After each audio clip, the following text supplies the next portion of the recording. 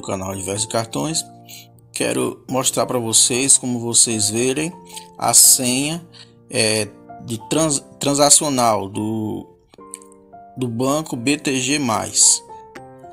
É, porque às vezes a gente instala, né, é, faz a conta, cria a conta, né, e habilita é, a entrar, né, fazer transação por meio da digital.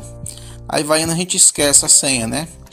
E dessa forma, se você esquecer, você vai é, conseguir ver. Aqui a tela inicial do BTG+. Vocês vêm aqui, cartão. É,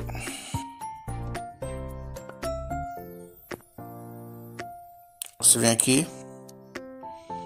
Aí configurar, é, configurar meus cartões. Até aqui, ver a senha. Mas só que eu não vou é, digitar, claro, né? Que é, meu meio de segurança, né? Aqui vocês é, e vai pedir é, biometria facial, tá certo? E vocês vão conseguir ver a senha de vocês.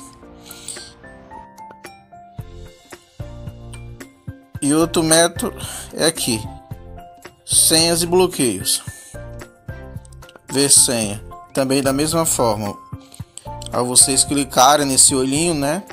Vai pedir para vocês fazerem a biometria facial e você vai conseguir ver a sua senha.